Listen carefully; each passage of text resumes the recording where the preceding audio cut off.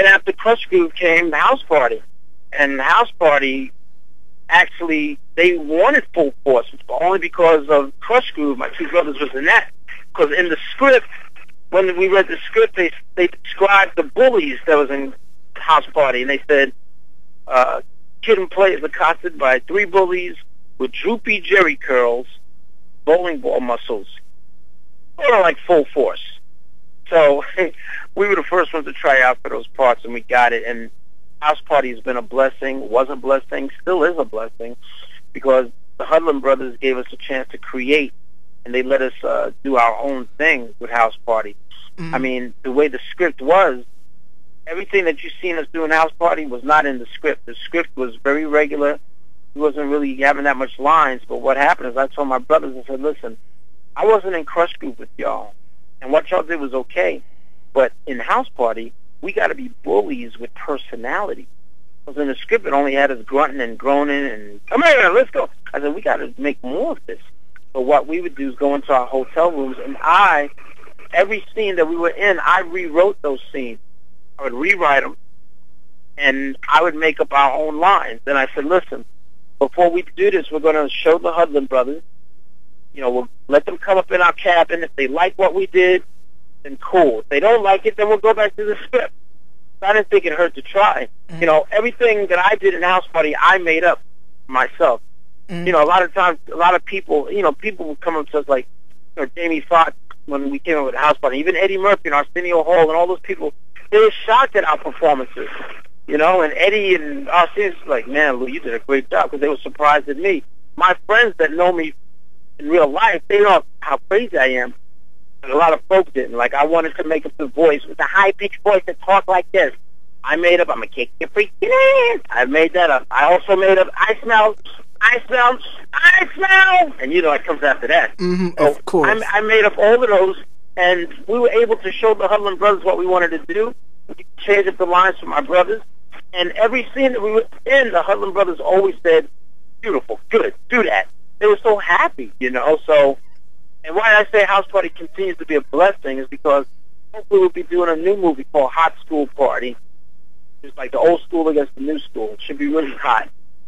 But um, still a blessing because still today, I can't go nowhere without, you know, I'm a kick your freaking Everybody remembers that. Mm-hmm. Of you know? course. So it's all, it's all good. And it's fun, man. It's been a blessing. Mm-hmm. Who doesn't remember House Party? Now, tell me about you guys working with Cheryl Pepsi Riley, who was known for the single Thank You For My Child. I believe that was the name of it, or um, correct me if I'm wrong. Yeah, Cheryl Pepsi Riley. What were you asking? Um, what was the name of? I think I can't recall the name of the song. It's like "Thank You for Being My Child" or. Oh no no no no!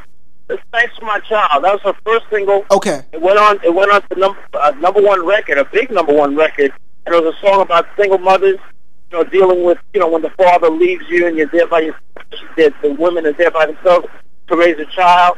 You know, the guy doesn't have responsibility, which is kind of whack. Because you know, if you're gonna put it in, then you got to stick it in. You know, stick stick in there. That's what I mean. Not sexually, but just on the on the man tip. Be a real man. Because you know, it, it, it's easy to make a baby, but it really takes a real man to be a father. You know what I'm saying? True. Thanks to My Child was a was a um, big hit for Cheryl Pepsi Riley, and and um, Full Force wrote that. But you know, like I said, you know, I wrote that one, but we always say Full Force because all for one and one for all. It's six members in Full Force, and we we've been splitting our money six ways for so long. Mm-hmm. And like if I write a song, it'll say written by Full Force people write a song, full force. Three people, full force.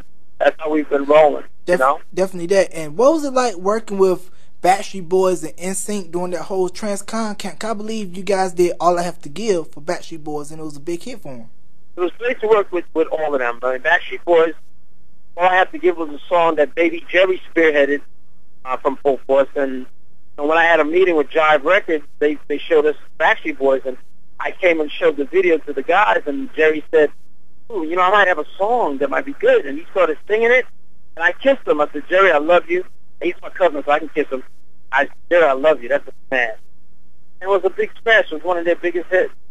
And then we went on and worked with uh, NSYNC, which we produced and wrote some songs that wasn't actually released, but they used to perform them on their concerts all the time.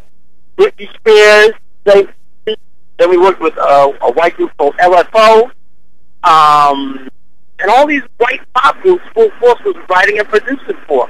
And people were so surprised, you know? Mm-hmm. Um, it was all good. Yeah, because I was like, all I have to give definitely had that R&B sound, and now you guys did did work with this Latino group called the Barrio Boys. Right, right. Yeah, I hear you.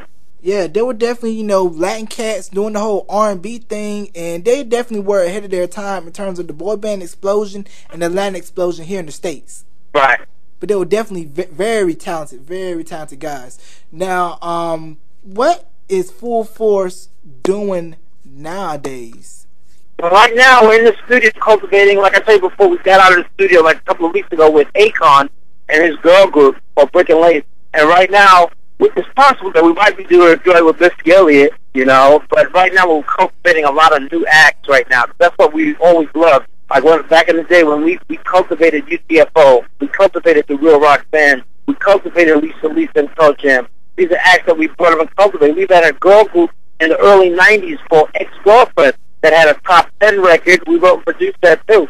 So we're still cultivating, you know. You're the one for me, I believe, was the single by Ex Girlfriend, right? Right, right, right. Yeah, actually, I have that joint on uh, a CD. I actually gonna have to pop a listen to it after I get off of here. You know what I mean? But I'm a big Full Force fan. You know, all in my mind. I still got vinyl records of the debut and Guess Who's Coming to the Crib with Love Is for Suckers. Wow, thanks, man. Yeah. I still got them too. I got a lot of them. Yeah, courtesy of no. my courtesy of my aunt down in South Carolina. They was just sitting there in the garage. I was like, "Give me those." Yeah, man. You know what we did when we did All in My Mind? That was a, a huge record for Full Force. That was a top ten record for us. We also did like a different, like a bunch of radio versions. Meaning, we would say the names of the radio jocks and everything like that, and then just release the record. You know, right before the song starts. We always did a lot of drops like that. Definitely that. And uh, what was was who came up with Ecroft? He was in the Ain't My Type of Hype video. Yeah, Ecroft is a little cartoon character, like a space age cartoon character, and they, uh, my brother B Fine came up with that idea with the whole Ecroft thing. Now, do you still keep in touch with Kid and Play? Yeah, still keep in touch with both of them. In fact, I was in Atlanta, Georgia, like some months ago. We did this um, hip hop film festival, and me and Play, along with Yo Yo, hosted it, and it was hot. Yo Yo, for all you people that don't know out there, West Coast female rapper, you can't play with my Yo Yo. She was on the. Can't play with my Yo Yo. Don't try right. to play me out. Good too. Uh, of course, with those with those pretty eyes. Now, are you guys still amazed at the longevity of Full Force and people my age, like? Yo, you know, Full Force is like the joint. You know, House Party pretty much has helped cement you guys' legacy. Oh yeah, yeah, yeah. It's funny because the the, the um, old heads, the old school heads, they know us for our music and the Full Force joint. But the young kids, a lot of them that wasn't around when we came out, they all, even even some kids that wasn't even born in 1991, because that's when House Party came out they all know House Party because House Party continues to still play like on cable and everything. Everybody knows that. They know my line. I'm a kick fiction. Everybody knows that, and um, it's that's why I say House Party's still a blessing mm-hmm. because they don't remember kids like the, the old heads like go Dick Junior. You don't know who that is? Don't make no Paul Anthony, full force. You don't know full force? They go, oh, I don't know, Dad, but uh, you don't remember House Party? How, oh yeah, I remember them house parties. That's when they remember. But it's all good to us. Yeah, that, that definitely that right there. And uh, what do you feel about the current state of R&B music today, as compared to you know the mid '80s, early '80s? Yeah, well, well I always say there's nothing like true school. Back in the '80s, that's when music was music, and that I mean they got some good songs and stuff like that. But I'm talking about the pure, the pure soul R&B you had a lot of great hits and a lot of great people doing the damn thing. You know, now, I mean, you know, from back in the days, it's dramatic, Frankie Beverly and Maze, and you know, all them groups. I mean, it's a shame because now you don't even got black bands that's out doing latest records. You got the white bands still doing their thing, but the black bands, nope. I just think it's a thing where rock music they have a sense of their roots, where R and B is kind of like you don't really have that same appreciation of like a troupe, a full force guy, Tony, Tony, Tony, or New Edition. Yeah. Well, well, yeah, we're good friends with Teddy Riley. We worked together with him when we did a project from Monifa and New Edition. But you know, once again, Teddy always looked up to us too, Teddy Riley, and he always told us that he um we were a big influence because we came out before him, and you know we looked at ourselves as the, as the original hip hop vocal band right. before anybody, you know. And I was, um, and I was gonna bring this up too. So you guys were kind of like doing the hip hop and R&B thing before Teddy and New.